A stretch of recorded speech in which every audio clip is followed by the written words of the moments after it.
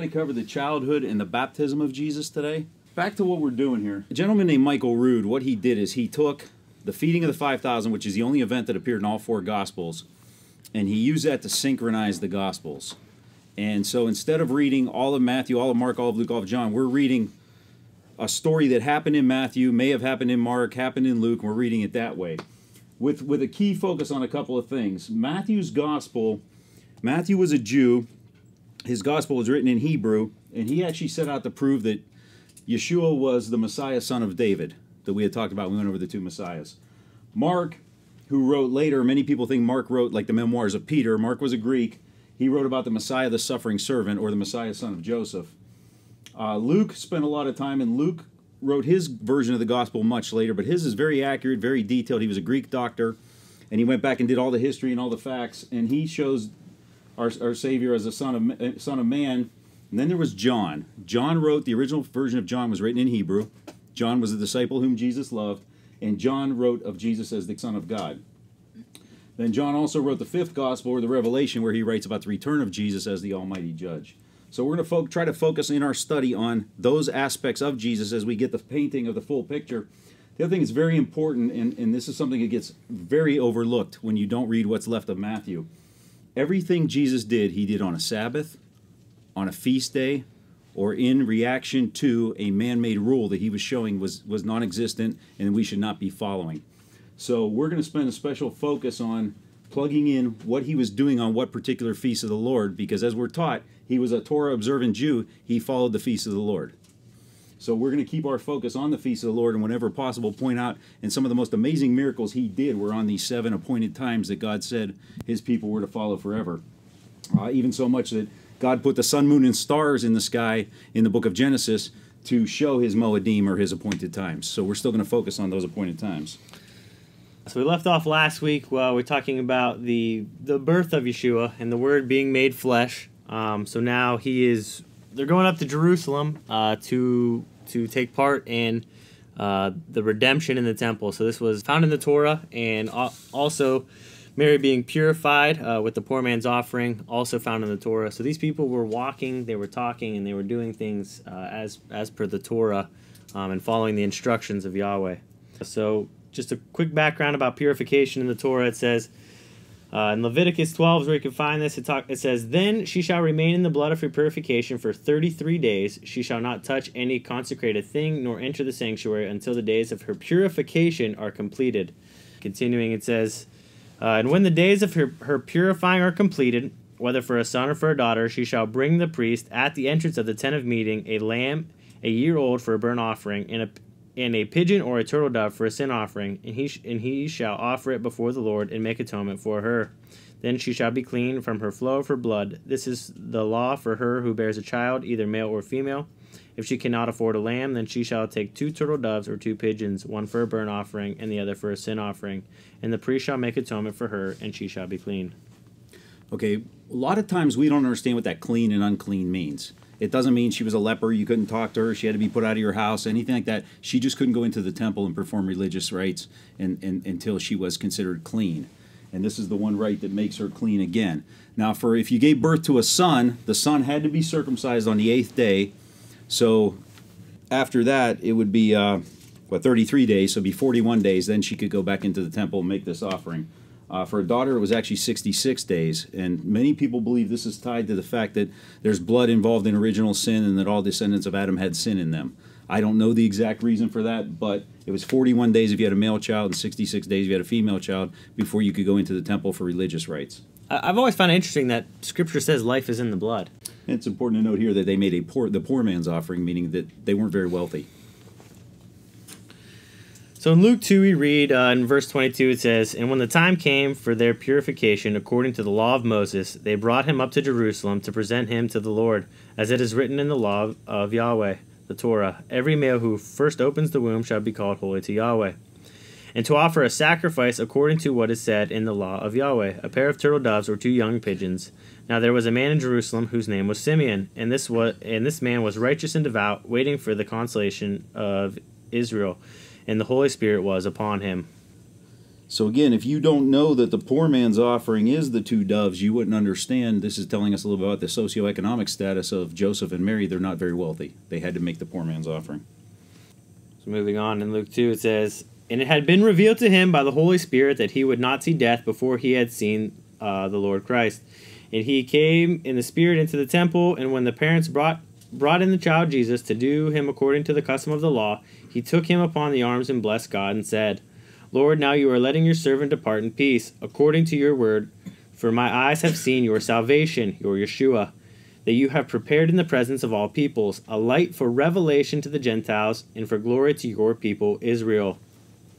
And that's huge because this guy got it. This guy knew that Jesus was coming to restore people to covenant with God, or Israel to covenant with God, bringing the Gentiles back into Israel, so to speak, as we covered in the last couple weeks. So moving on, uh, uh, we're going to go to Psalm 98. It says, The Lord has made known his salvation. He has revealed his righteousness in the sight of the nations. He has remembered his steadfast love and faithfulness to the house of Israel. All the ends of the earth have seen the salvation of our God. So this is the reference that, that Simeon was making when, when he was quoting the, the Old Testament in the, in the last passage. So uh, it says, The Lord has made known his Yeshua. Um, so that's you know I, I always love to insert uh, the name of the name of our Messiah into the Old Testament readings, especially in the Psalms over and over again when it just it keeps telling us that that Yeshua is is our salvation, that that the the Messiah has become our salvation, and they knew about it. The Old Testament writers knew about it. The the Israelites knew about it as they were walking, but they knew uh, the revelation that was that was coming uh, in in a future time. So moving on to Luke 2. And his father and mother marveled at what was said about him. And Simeon blessed them and said to Miriam his mother, Behold, the child is appointed for the fall and rising of many in Israel, for a sign that is opposed. And then in parentheses they add, And a sword will pierce through your own soul also, so that thoughts from many hearts may be revealed. And there was a prophetess, Anna, a daughter of Phanuel, from the tribe of Asher. Important here, anytime someone was not from the tribe of Judah, they pretty much tell us what tribe they were from. Paul says he was from the tribe of Benjamin, Anna was from the tribe of Asher, but very few people were from these other tribes. Almost everybody was a Jew or from the tribe of Judah at this point. So she is from the tribe of Asher. She was advancing in years, having lived with her husband seven years from when she was a virgin, and then a widow until she was 84. So we don't know when she got married, but seven years after she was married, her husband dies, and she's 84 years old, waiting to see this baby. She did not depart from the temple, worshiping with fasting and prayer night and day. And coming up at that very hour, she began to give thanks to Yahweh and to speak of him to all who were waiting for the redemption of Jerusalem. So what's amazing to me is that these people knew their scripture. They knew the Torah, they knew the Tanakh, and they knew the, that the redemption of Israel was coming through the Messiah. So uh, you know, we oftentimes see the the negative side of it, where the Pharisees had become so wrapped up in their own man-made traditions and their own man-made ways that they missed the Messiah because they were focused on the letter of the law and obtaining their salvation. They thought was by the works that they were doing.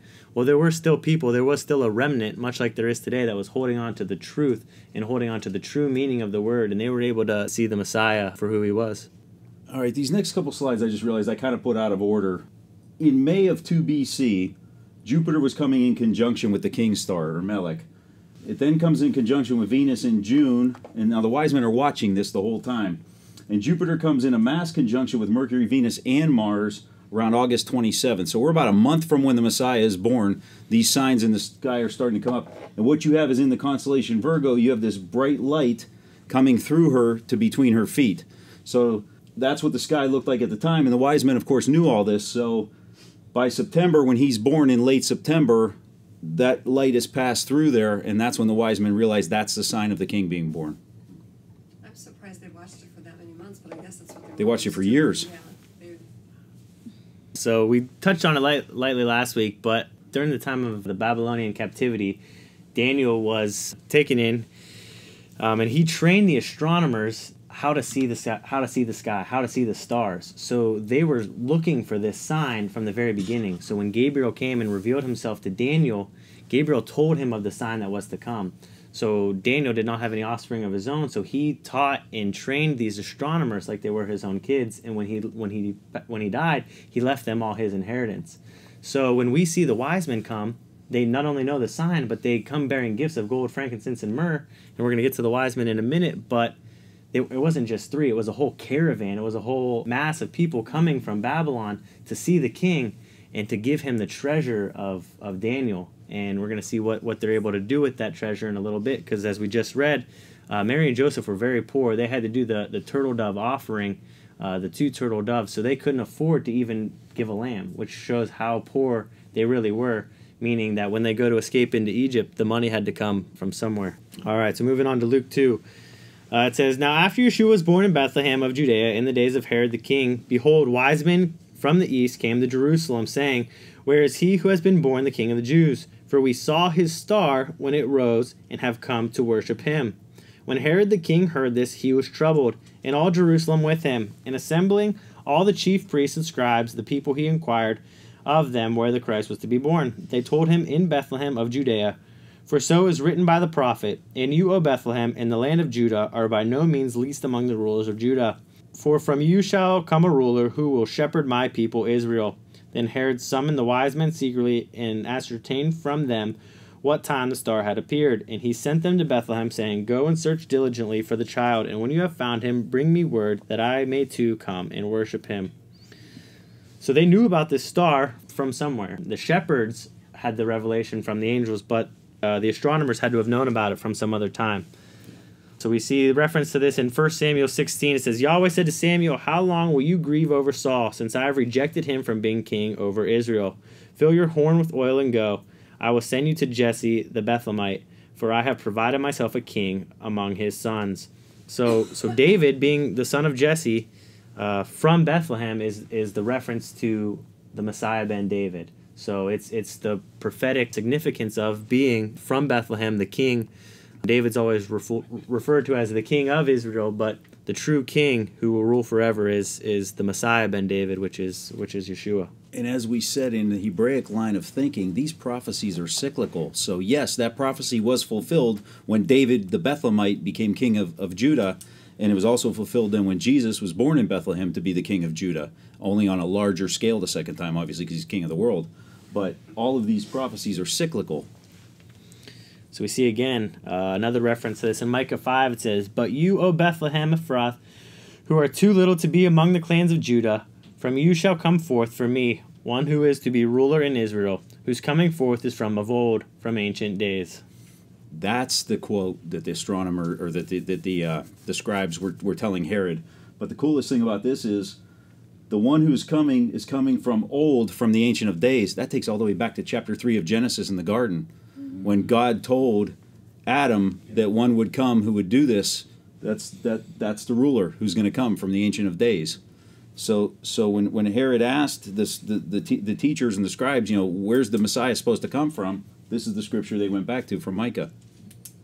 And so we see in Matthew 2, it says, After listening to the king, they went on their way, and behold, the star that they had seen when it rose and went before them until it came to rest over the place where the child was. When they saw the star, they rejoiced exceedingly with great joy. And going into the house, they saw the child with Mary his mother, and they fell down and worshipped him. Then, opening their treasures, they offered him gifts gold, frankincense, and myrrh. And being warned in a dream not to return to Herod, they departed to their own country by another way. Okay, we put this in here just as a placeholder so we could discuss the wise men. We were always taught there were three wise men. They showed up Christmas night when Jesus was born. These guys came months later. They probably came sometime in late December. So the child was at least three to four months old by the time they got, probably three months old by the time they got there we base the fact there were three on the fact they had gold, frankincense, and myrrh, and the Catholic Church even gave them names. Uh, so if you, any of the songs about the three wise men or anything else where their names are mentioned, that was derived by the Catholic Church about 300 years later. But three men would never travel alone through the treacherous area from Babylon or Ur of Chaldees all the way up to Jerusalem, especially with gold, frankincense, and myrrh. More than likely, it was a caravan of them that came from that area uh, and, and we have no idea how many there were. I highly doubt there were three, and we don't know there were three. The only basis of three is that there were three gifts. Uh, gold is obviously the gift for a king. Frankincense uh, is an incense, and burning of it represents prayer. It's used by the priests, and it indicates the priestly nature of the Messiah. And myrrh is a fragrant perfume used in embalming bodies. Inclusion of this gift can be seen as a prophetic of his death. So the three gifts together underline the fact that he was a priest, a prophet, a king, and that he was going to die for the people. And this was probably something that Daniel had left them in a writing that when you see this star, when the king comes, take this wealth to them. Because Daniel was second in charge under three different kings in Babylon. Very, very wealthy man.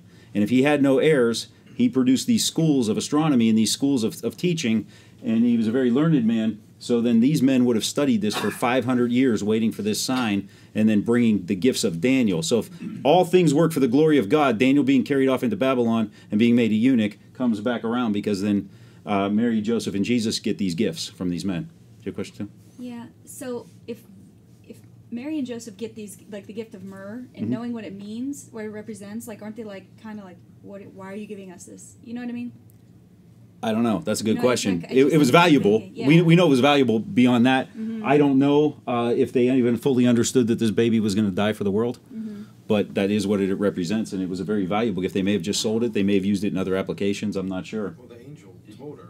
The angel told her that it was going to be the baby that was going to save the world. Plus, when Herod was killing them, at least they had some money to scoop. That's and that's the key there. We know they had the poor man's gift. We know they didn't have the money for a travel to Egypt. Now they had money to travel to Egypt. Gold alone could have got them to Egypt, probably. And so we find that out in verse 13 when it says, Now when they had departed, behold, an angel of the Lord appeared to Joseph in a dream and said, Rise, take the child and his mother and flee to Egypt, and remain there until I tell you. For Herod is about to search for the child to destroy him. And he rose and took the child and his mother by night and departed to Egypt, and remained there until the death of Herod. This was to fulfill what Yahweh had spoken by the prophet Out of Egypt I called my son. So again, we have this reference of the cyclical prophecies over and over again. Clearly, uh, you know, one of the applications of out, out of Egypt I called my son is the Exodus, and when the people came out of out of Egypt, but it was a reference to one day that the Messiah would also come out of Egypt. So in Hosea 11, we see that when Israel was a child, I loved him, and out of Egypt I called my son. So again, uh, what I just said, a direct reference to Israel, but an underlining theme of of the Son of God, the Son of Man, the one who would come to save the world. So continuing, it says, Then Herod, when he saw that he had been tricked by the wise men, became furious. And he sent and killed all the male children in Bethlehem and in all that region who were two years old or under, according to the time that he had ascertained from the wise men. Then he then was fulfilled what was spoken by the prophet Jeremiah. A voice was heard in Ramah, weeping in loud lamentation, Rachel weeping for her children. She refused to be comforted because they are no more. So Jeremiah talking about the the weeping of Rachel. So Rachel wasn't the mother of Judah, Right. of the line of, of Judah. So what's interesting is that the reference to this is the surrounding nations that we talked about in our Lost Sheep series, the northern tribes that were dispersed out of Judah, that were separated from the kingdom. Herod went into all these towns knowing that they were also Hebrews, Israelites, and also slaughtered all of these children, knowing that he could have been hidden among these towns as well. So the reference to Rachel weeping is not directed just to the Jews, but to all the Israelites that were dispersed through the surrounding nations that were also massacred at this time. Yeah, Rachel wasn't the mother of the Jews. She was the mother of Joseph, therefore the grandmother of Ephraim, and these are the Ephraimites or the scattered tribes. So we threw in that verse from Jeremiah. It says, Thus says Yahweh, a voice is heard in Ramah, lamentation and bitter weeping. Rachel is weeping for her children. She refused to be comforted for her children, because they are no more. So again, a reference to them being no more. The reference at the time of Jeremiah, the Ephraim was being scattered. So that is the reference to them being no more, but it's again a two-part prophecy because it's Ephraim being no more that the babies are being killed at this time. So Matthew, when he's when he's talking in the gospel, he know he understands this this two part prophecy. He understands that Jeremiah was talking about what was going on at that time, but how also it's apply he's applying it to what is going on in, in the current situation uh, with with the Messiah and Herod. And, and the murder of the innocents of, of two and under. Okay, interesting side note about Herod. Um, Herod was such a horrible guy. The people hated him. And as I said before, he was a descendant of Esau. He was an Edomite that the Jews put over Israel. And the Jews hated him because he was an Edomite. He was not a Jew. He was a cousin of their uncle, or a child of their uncle Esau, so to speak. But he was not a Jew. They couldn't stand the man. The Romans appointed him because he did what the Romans wanted. So the story from Josephus is that Herod knew everybody hated him, and he wanted. He was dying. He had these open sores. He smelled. Nobody could stand him, and he wanted his death to be remembered. So he gave the orders to his men that when he died, they were to round up all the wealthy men in Jerusalem and slaughter them, so that everybody in Jerusalem would be crying and weeping, so that his death would be remembered forever. And people would cry. Uh, there was a story where someone said to him, When you die, people are going to rejoice. And he was said, No, when I die, people are going to cry. And he ensured that people would cry because he wanted everybody killed at his death. That was all the important men, all the politicians, all the priests to be killed, so that the whole town would be weeping and his death would be remembered forever as a day of mourning. So as the story goes, he dies. And the wise men, his, his, his advisors, go to his son, who's now the king, and they say, Look, don't do this. This will cause a rebellion. So his son does not do it. Then somehow, miraculously, Herod revives, finds out that his son didn't follow through with his orders, so he has his son publicly and painfully executed for not killing all the people when he supposedly died. So now his next son is going to be king when he eventually does die. So we're going to pick up the story now in Matthew again with the story of Joseph getting a visitation from an angel that we just read, but this is Matthew's version of it.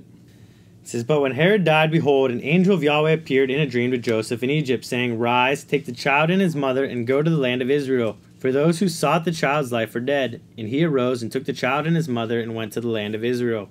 But when he heard that Archelaus was reigning over Judea in place of his father Herod, he was afraid to go there. And being warned in a dream, he withdrew to the district of Galilee. And he went and lived in a city called Nazareth so that he so that what was spoken by the prophets might be fulfilled that he would be called a Nazarene. And if you remember back to to the first part of this series, uh, we talked about how when he says by the prophet the prophets might be fulfilled that he would be called a Nazarene, the prophets never said that he would be from Nazareth. Uh, there's no there's no verse in the entire Old Testament that said he will be from Nazareth or he will be a Nazarene. Uh, the Old Testament, the Hebrew word that's used in the Old Testament is netzer, and Samach. And so the, what the Netzer and the Samach are, they are branches that shoot forth from the, the tribe of, of David, from the lineage of David. And we read uh, verse after verse about the Samachs from the Old Testament. There was a Samach that said the Messiah will be the king. There was a Samach, a branch that said the Messiah will be um, the Son of God. There was a Samach that said he will be a, a servant, and one that said that he would rule as a, as a judge. So when it's talking about that he will be called a Nazarene, it is a Netzer from the tribe uh, of David, or coming from the lineage of David, um, not necessarily the town of Nazareth. The next slide is just something a lot of people don't understand, but I wanted you guys to understand the political climate of this time. There was a huge revolt in 1 BC. Shortly after this, when Herod dies, his son Archelaus, after his funeral, which the funerals were seven days long, has 3,000 Pharisees slaughtered because he doesn't want any opposition to himself and he wants all the people that understand the religious leaders to be slaughtered. So he has 3,000 Pharisees slaughtered and he cancels Passover. The worst thing, he, now being an Edomite or a Jew or, or from Esau, he doesn't understand how important Passover is. Passover is a feast of the Lord. Passover is something they're commanded to keep. This starts a huge rebellion. So the Romans call him to Rome to find out what he did to cause this rebellion, and they send General Varius to Jerusalem, and 2,000 men are crucified. So we're talking maybe 26 years or 27 years before Yeshua is crucified, 2,000 men in Jerusalem were crucified over this revolt. So if you think of the people seeing him on the cross and what was going through their mind, that would have been a traumatic thing that everybody would have known. Kind of like where were you the day Kennedy Kennedy died, if any of you were around for that, or where were you when the planes hit the towers? Where were you when two when 3,000 Pharisees died, a war broke out, and then 2,000 men went to the crosses? And, and, and, Josephus says that they were just lined up waiting for somebody to die so they could get on the cross or be put on the cross. So you're standing there waiting in line for somebody to suffocate and die this horrific death because you're next. So then Luke throws in this line just to give us a time reference. Uh, in, in verse 40, we read, And the child grew and became strong, filled with wisdom, and the favor of God was upon him, or the grace of God was upon him. So Luke continues in in uh, the next verse. It says, "Now his parents went to Jerusalem every year for the feast of the Passover, and when he was twelve years old, they went up according to the custom. And when the feast was ended, as they were returning, the boy the boy Jesus stayed behind in Jerusalem. His parents did not know it, But supposing him to be in the group, they went a day's journey. But then they began to search for him among their relatives and acquaintances. And when they did not find him, they returned to Jerusalem, searching for him. After three days, they found him in the temple, sitting among the teachers, listening to them and asking them questions. And again, I love the reference always of, of three days. And so we see that in, in the death, burial, and the resurrection. But, you know, the significance of the number three we see throughout uh, Scripture. Yeah, he disappears on Passover, and then his family finds him three days later. And again, there were three of the seven feasts of the Lord you were required to go to Jerusalem Passover, Shavuot, which we call Pentecost in the Greek, and Sukkot, or Tabernacles, were the three feasts that you were required to go. So they would have journeyed to Jerusalem three times a year, every year as was as was required. Well, then was this a premonition of his death, right? He disappears on Passover for three days.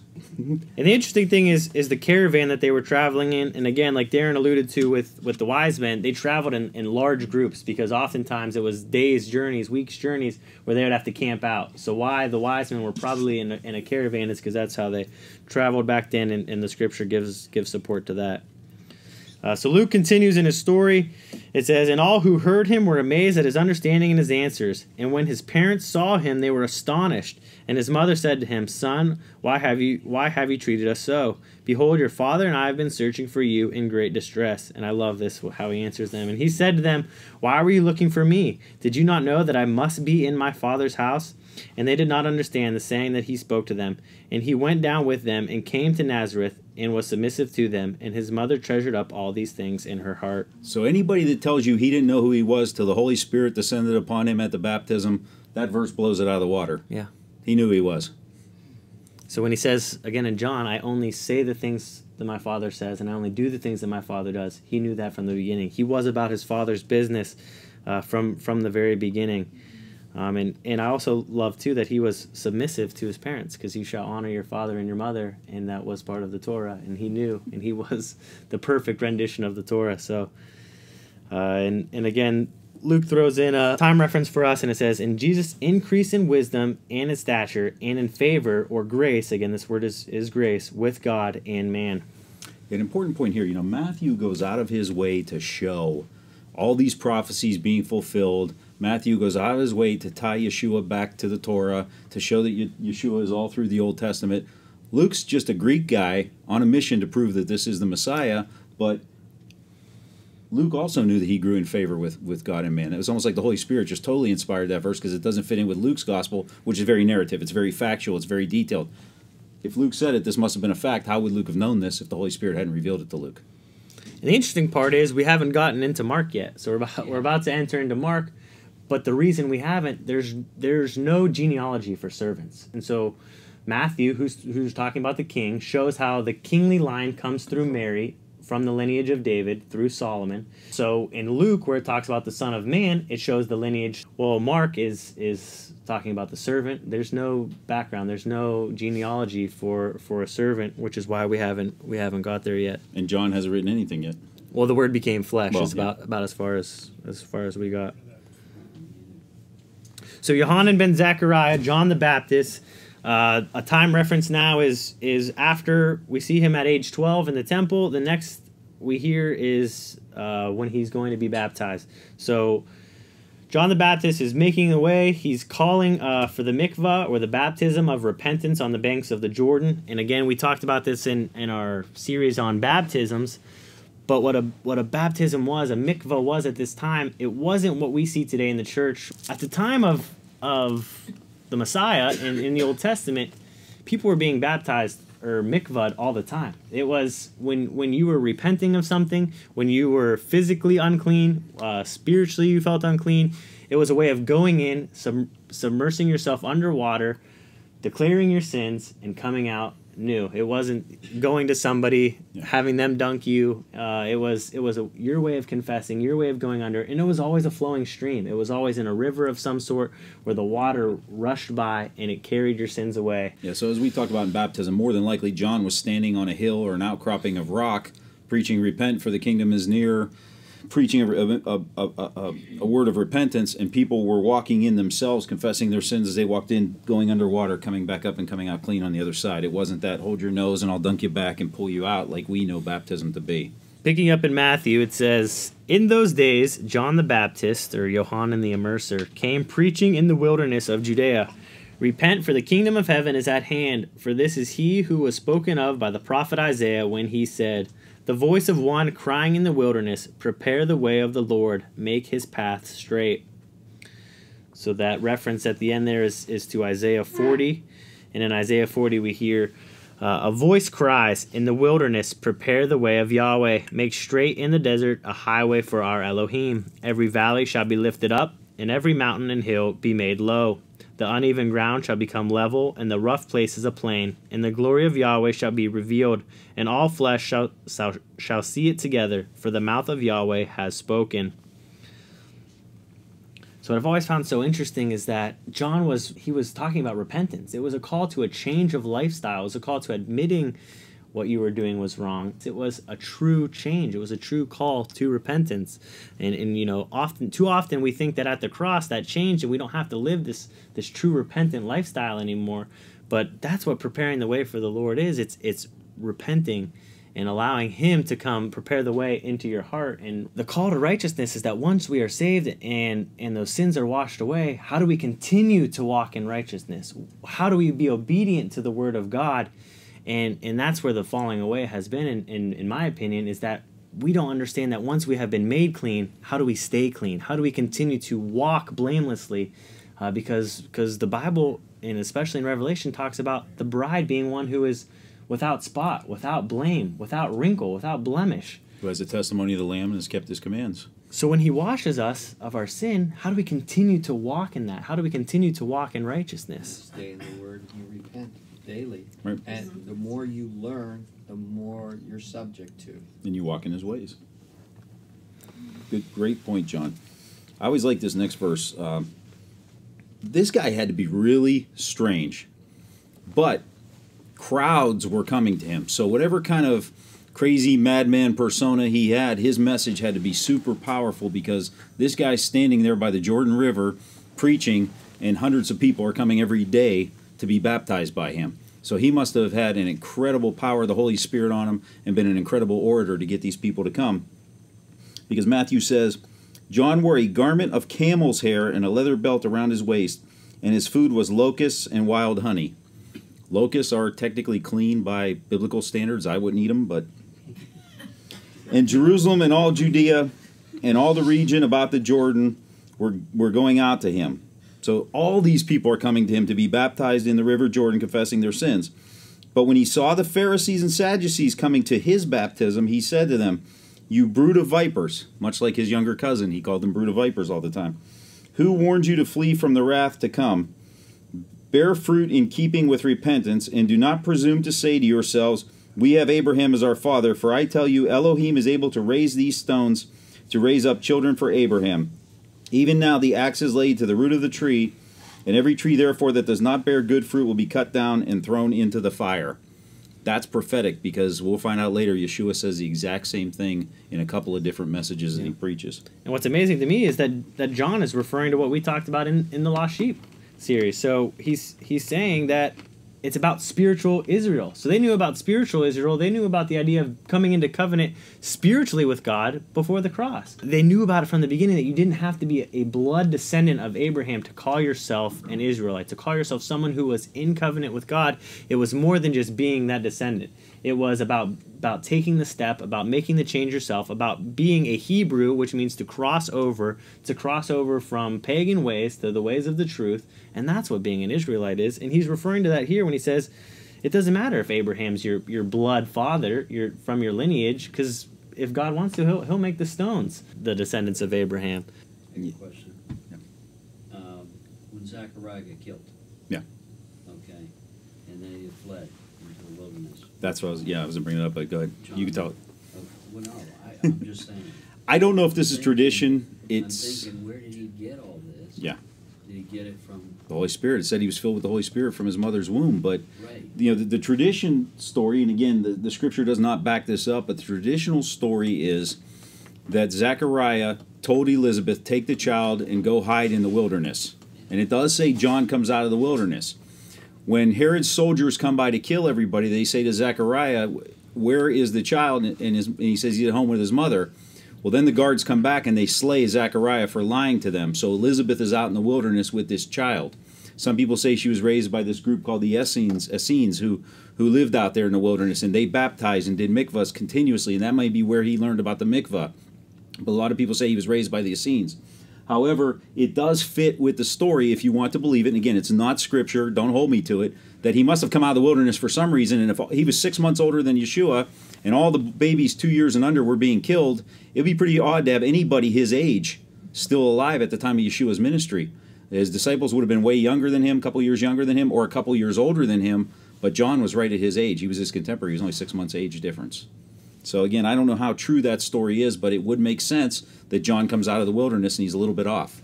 And it does say Zechariah was killed between the altar in the scripture. We're gonna yeah, we're gonna get to that when Jesus talks about that, but that's a cyclical prophecy also because Jesus does say to the Pharisees, when you slew Zechariah between the altars, and there's a story in I want to say it's uh, Samuel, which we'll cover at a later date, where Zechariah there is a Zechariah who's slain in the temple.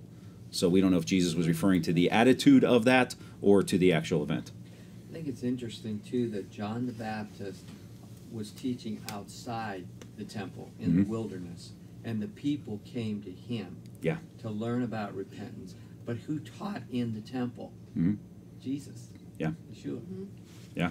But but John was preparing them But before they could go in. He prepared way. them before they go into the temple of your heart. Another another prophetic Yeah. symbolism. Yes, no. Was there Yeah. significance of the wilderness? Because as we were studying in the Torah how to celebrate the festival in the wilderness, they wanted to. Was there any significance with that? I think there's a prophetic significance, just that much as the Israelites had to wander in the wilderness for 40 years before they were allowed to, to enter into the promised land, you know, John is wandering in the wilderness, we're seeing, before he comes and makes straight the, the way of the Lord and, and teaches about repentance at, at the Jordan. So, yeah, I, I think there could be a, a prophetic. so Yeah, because to a good point. Dom's point, John couldn't have come and started preaching this message until Jesus was ready. Because then the message might have burned out after two years of hearing this guy baptizing everybody in town and the Messiah doesn't come. So there was timing why he had to be in the wilderness. They, To come out. they celebrating some feast day in the wilderness? Or? In, in, in, the, in the Torah portion, Moses asked Pharaoh if they go in the wilderness to celebrate Sukkot. How about John? Was he celebrating it? When, Well, John would have celebrated all the feast days if he was Torah observant, and we have no reason to believe he wasn't. Yeah, but he was. as far as the prophetic aspect, he, uh, John also came in the spirit of Elijah. Yeah. I think Elijah was known for being in the wilderness. Yeah. Yeah. So continuing in Matthew, uh, so remember John is talking to the Pharisees and the Sadducees uh, at this time, and, and anybody else who's listening on on the on the hills of the Jordan. It says, "I baptize you with water for repentance, but he who is coming after me is mightier than I, whose sandals I am not worthy to carry. He will baptize you with the Ruach Kodesh, or the Holy Spirit, and fire." His winnowing fork is in his hand, and he will clear his threshing floor and gather his wheat into the barn, but the chaff he will burn with an unquenchable fire. So, one thing to highlight and underline here, if you're reading along, is he's baptizing with the Spirit and fire. It's not saying that, that the fire is the Spirit burning inside of you, which we hear a Or lot those today flames over your head. but the spirit and fire are two separate things. To be baptized with the spirit is, is wonderful. It's a great thing. But when re- referring to the winnowing fork in his hand clearing at the, the threshing floor, we see that the wheat is put into the barn, but the chaff is burnt up. So to be baptized with fire might not necessarily be a, a great thing, especially if, if we don't have the salvation of the Messiah. We're going to be burnt up like the chaff uh, where we might all come under fire at some point and go under tribulation and have to come through it. Those of us who have the love of the Messiah in our hearts, we're going to be able to make it through the fire and be changed and refined and made spotless. But those who don't, it, it, we, we clearly see that he says right here the wheat is gathered into the barn, but the chaff will burn up with unquenchable fire.